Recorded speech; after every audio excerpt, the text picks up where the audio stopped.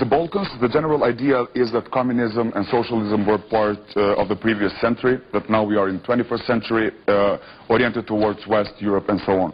You claim that communism will win. How? Uh, the point is, which communism? I'm the first to admit that 1990 was a deserved defeat of the whole epoch of 20th century communism. A certain epoch which started with October Revolution ended. And it was a total disaster. I'm the first to admit it. The point is, you know, that when a certain orientation, in this case liberal capitalism, wins, then its own contradictions, antagonisms explode. And I think this is what we are witnessing today. If 1990 was the fall of the Berlin Wall, the victory, then what we are getting in the first century, in the first decade of the 21st century is something different. New walls popping up everywhere, financial crisis, so-called terrorist attacks and so on and so on. These are for me all signs that in the long term liberal democratic capitalism is not the answer. That we will have to again to start asking difficult questions. Or to cut a long story short, let's admit it that till now our dream was in the same way that when we were, some of us were old enough, very young, we dreamt about socialism with a human face.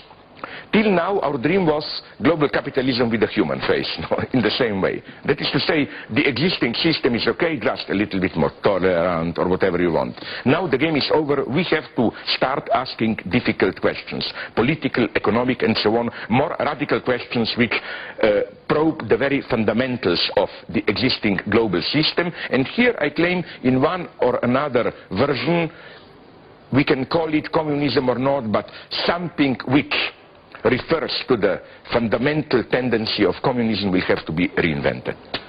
Uh, let's move to Yugoslavia. Why did Yugoslavia fall apart? I mean, which good things caused this? Uh, I have a very specific thesis here. First, I definitely don't believe this story of, you know, uh, uh, 100,000 old years passions in Balkan and so on and so on.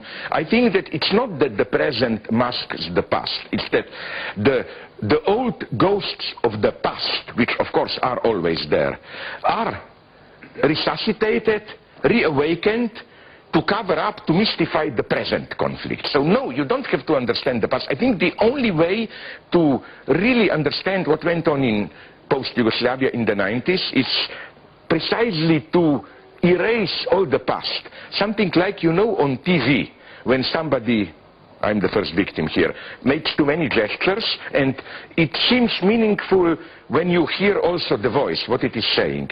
But you know, when it happens on TV, the voice is by mistake cut off, and then you see all the stupidity of embarrassing of bare gestures. We should do something like this with ex-Yugoslavia, you know. Suspend all the sounds which are telling us old meats, Kosovo, this, that, no, I meant Kosovo battle, no? And uh, look at what really was going on. If you ask me, the key was the economic fiasco, the crisis. There was a global crisis, we know in the early 70s, oil and so on. But then in ex-Yugoslavia, we never really rebound. And this was further complicated with a very ridiculous, this is the role of, of ridiculous accidents in history. The ridiculous detail which is now reported in some memoirs that the top nomenclatura around Tito was aware of uh, serious economic situation, but they said, listen, Tito is old, if we start fighting the crisis now, this means fall of living standard and so on. Tito will see the discontent. Tito will die unhappy. So it was a collective decision.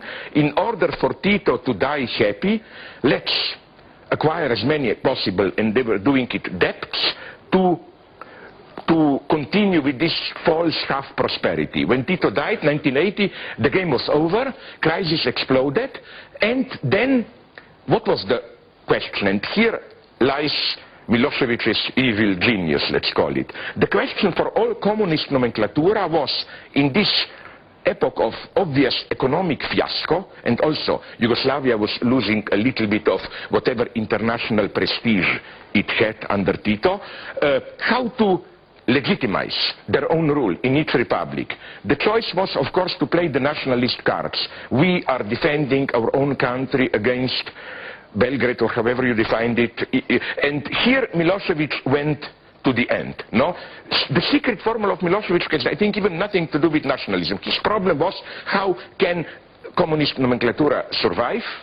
The, the, answer was making a historical pact with nationalist poets who are always there, which is why, just to uh, uh, finish my statement, I think that if there is anything to learn from the sad decay of Yugoslavia, is that Plato was right in his Republic, throw poets out of the city and Right, so let's, let's move to, uh, to Kosovo. In your book, The Fragile Absolute, you, you develop your thesis that uh, uh, here Albanians are being supported as long as they remain victims, depoliticized subjects, and so on.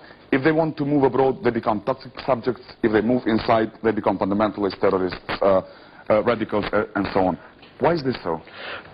First, I don't think there is anything specific concerning Kosovo in this. This is just the general attitude of these disgustingly well-being uh, Western uh, uh, charity, human rights liberals who, again, like the other insofar as it is the passive victimized other. The moment the other wants to take its fate they want to take their fate in their own uh, hands, they are immediately suspected of, of, of, uh, uh, uh of uh, not only nationalism but fundamentalism or whatever. So this is, this is, this is the general feature of today's global capitalism where, as I often repeat in my books, that old joke how we like today products deprived of their poisonous substance. We have decaf coffee, uh, decaf Coca-Cola, beer without alcohol, sugar with, uh, uh, coffee without caffeine, sugar without sugar, and so on. And the uh, the West wants these third world countries deprived, they want a decaffeinated Kosovo, no? And here we are, we are, we are all paying the price. But uh, it's not only this. You were caught in a specific mirroring game that I remember using long ago already, namely, uh, did, did, did you notice how the, the, one of the nice paradoxes logical paradoxes where you can see how Yugoslavia was a totally hysterical, phantasmatic space, was that each nation, except you, each nation, in order to justify itself, tried to present itself to the West, which was our ego ideal, as the last bastion of civilization against the barbarian others. Serbs were all the time telling to, their, to the Western media, you know, we are still Christian West, you are basically practically an outpost of Al-Qaeda or whatever you want, no? You and the Bosnians. But then it goes on, that's what I like. Croat said, no, we are civilized West Catholic, Serbs are already Orthodox, they are already, we are the last fortress wall uh, we Slovenes, of course, uh, we play the same game. We say we are not Balkan at all, we are Middle Europa. Croats are already Balkan, we. And then you know you can go to the end. Austria says Slav gang, Slovenia is already Balkan. Germans said Austria, Austrian Empire to mix. France said there is always something suspicious in, in, in, in Germany. At the end you go to England which claims continent as such is one big Balkan. And you are honorable because if there is the one who is, if we use Balkan in this term, the foreigner on whom you project your own words. You are, I would claim, the only non-Balkan